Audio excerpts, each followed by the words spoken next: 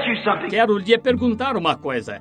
Is there an eternal security? Existe segurança eterna? The Bible says so. A Bíblia diz que sim. The Bible said that our names were put A Bíblia disse que nossos nomes foram postos on the Lamb's Book of no livro da vida do Cordeiro before the world ever began. antes do mundo começar. How can God ever save you if He Como pode Deus salvá-lo se ele. Bem, então, um Deus infinito que o salva aqui, knowing He's going to lose you next week sabendo que vai perdê-lo semana que vem, or next month or next year, ou mês que vem, ou ano que vem. why, He's defeating your very purpose. Ora, ele está frustrando o propósito. Ele não pode perdê-lo. Quem ouve as minhas palavras e crê naquele que me enviou, tem a vida eterna e nunca entrará em juízo, mas passou da morte para a vida. Não pode. You no more. Você não mais. He that's born of God Quem é nascido de Deus does not commit sin. não comete pecado, For the seed of God remains in him. porque a semente de Deus permanece nele.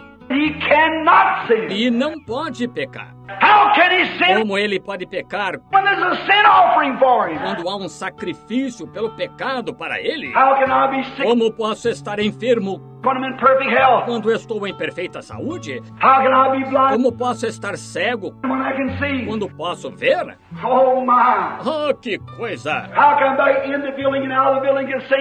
Como posso estar no edifício e fora do edifício ao mesmo tempo? Como posso estar bêbado e sóbrio ao mesmo tempo? You can't do it! Não pode! And when you're saved, E quando você é salvo, você está sob a expiação e seus pecados não lhe são imputados. Não disse Davi: Blessed is the man who God will not reckon sin and Bem-aventurado o homem a quem Deus não atribui o pecado e imputa o pecado? God don't hold the sin against his creature. Deus não imputa pecado à sua criatura. That's strong. Isso é forte. That isn't skim milk, Não é leite magro, but that's the Bible. mas é a Bíblia. Deus não imputa o pecado ao justo.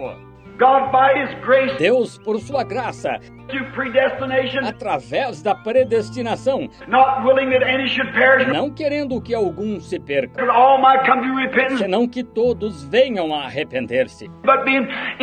Mas sendo infinito e sabendo quem viria e quem não viria, ele pôde predestinar tudo para operar conforme sua vontade. No wonder Paul said in Romans 8, Não é de se admirar que Paulo tenha dito em Romanos 8: foolish man, Homem insensato, who can tell the, the potter what to do about it? quem pode dizer ao, ao oleiro o que fazer? Who, when the clay raised up, Quem, quando o barro se levantou e disse: Por que me fazes assim? Did not he raise Pharaoh up for the same purpose? Não levantou ele Faraó com o mesmo propósito That he might show his glory down in Egypt? para que pudesse mostrar a sua glória no Egito? He hardens who he will Ele endurece a quem quer and justify who he will. e justifica a quem quer. It's not him that willeth or him that runneth, Não é o que quer ou o que corre, but God that showeth mercy. mas é Deus que se compadece. So you have nothing to do with it. Assim, você não teve nada a ver com isso. You have one thing to do. Não há nada que você possa fazer. Se é graça, se é um dom gratuito, não há nada que você possa fazer. Deus o deu a você. E essa é a vontade de Deus. É isso que Deus predestinou para você. The Bible said that we were predestinated A Bíblia disse que fomos predestinados para filhos de adoção, filhos de Deus, before the foundation of the world. antes da fundação do mundo. Então, quando Deus matou o cordeiro em seu próprio pensamento antes da fundação do mundo, para provar os seus atributos, o que ele era. Quando o cordeiro foi morto, nós fomos mortos com ele. When the blood of the lamb was caught in his own mind, Quando o sangue do cordeiro foi captado em sua própria mente, lá atrás, antes da fundação do mundo, o meu nome e o seu foram escritos no livro então. Tudo em seu grande pensamento. Ele é infinito. Agora, a Bíblia não diz que todas as coisas contribuem juntamente para o bem daqueles que amam a Deus? Então você está com medo do quê? Sejamos diligentes, com coragem para qualquer luta.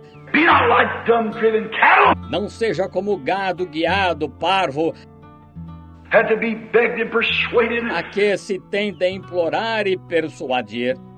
Be a hero. E seja um herói. Eu gosto disso. Stand up. Levante-se!